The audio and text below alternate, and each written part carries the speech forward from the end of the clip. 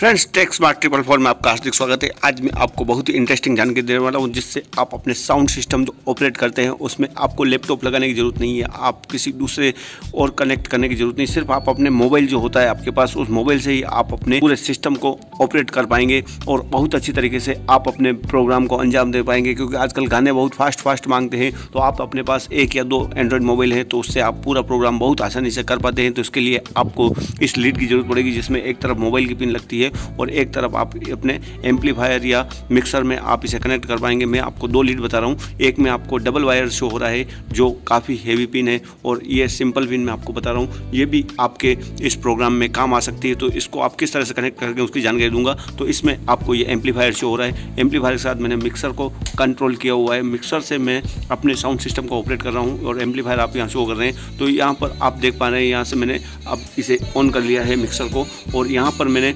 पाँच नंबर जो मिक्सर का फेडर है, उसमें मैंने वो जो लीड बताई थी, वो मैंने यहाँ पर लगा ली है। मैं इसे ऑन कर देता हूँ। यहाँ ऑन करने के बाद आप देख पा रहे हैं, यहाँ पर हमारे लाइट ब्लिंक कर रही है और यहाँ पर आप अपने वॉल्यूम को जो भी सेट करना चाहें, अपने गाने की क्वालिटी के हिसाब से सेट कर लेंगे और इस फेडर को ऊपर करने से पहले आपको मैं और भी जानकारी दूँगा। तो यहाँ पर आप मोबाइल देख पा रहे हैं। मोबाइल में मैंने इसे कनेक्ट कर लिया है और यहाँ से मैं यूट्यूब से गाना सेलेक्ट करता हूँ। अगर आपके फ़ाइल में अगर गाना पड़ा हुआ है मेमोरी कार्ड में गाना पड़ा हुआ है तो उसे भी आप बहुत अच्छे तरीके से यहाँ पर इसे कनेक्ट कर पाएँगे और यहाँ पर इसका फेडर ऑन कर लेंगे।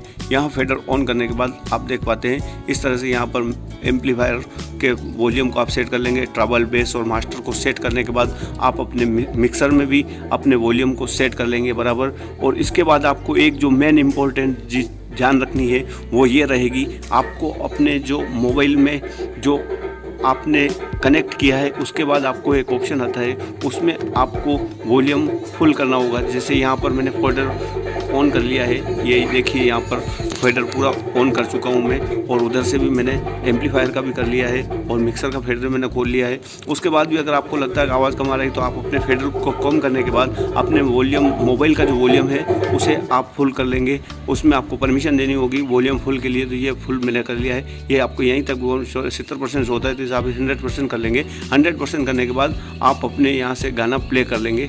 तो गाना प्ले करने के बाद अब आपको लगता है वॉल्यूम और कम है तो फिर आप अपने फेडर को बढ़ा सकते हैं। यानी आपको ध्यान रखना है, अगर आपने डायरेक्ट इसे ऑन कर लिया और डायरेक्ट में आपने मोबाइल में अगर 100 परसेंट वॉल्यूम किया और यहाँ से वॉल्यूम फुल रखा आपने फेडर को तो आपके स्पीकर उठने की संभावना रहेगी इस चीज़ का आपको ध्यान रखना। ये पेन का ऑप्शन यहाँ पर शो हो रहा है। आपको ये इसमें आपको लेफ़्ट और राइट स्पीकर के शो हो रहे हैं। तो यहाँ पर आप देख पा रहे हैं, बहुत अच्छी तरीके से आप इसे देख रहे हैं। तो यहाँ पर आप इसे नीचे कर लेते हैं। अगर सेंटर में रखते हैं तो आपके दोनों स्पीकर चलेंगे और लेफ़्ट में करते हैं एक स्पीकर चलेगा तो इस तरह आप इसे बहुत अच्छी तरीके से कर पाएँगे। और ये आपको चैनल वन और चैनल टू दोनों शो हो रहे हैं, जिसमें भी आप अपनी आवाज़ रखना चाहे, रख पाएँगे। जानकारी अच्छी लगी हो तो हमारे चैनल को ज़रूर लाइक, शेयर, सब्सक्राइब करें और गाने बहुत अच्छी तरीके से चला पाएँगे। ऐसे ही वीडियो और देखना चाहे तो आप प्ले लिस्ट के द्वारा देख पाएँगे हमारे इसी चैनल पर।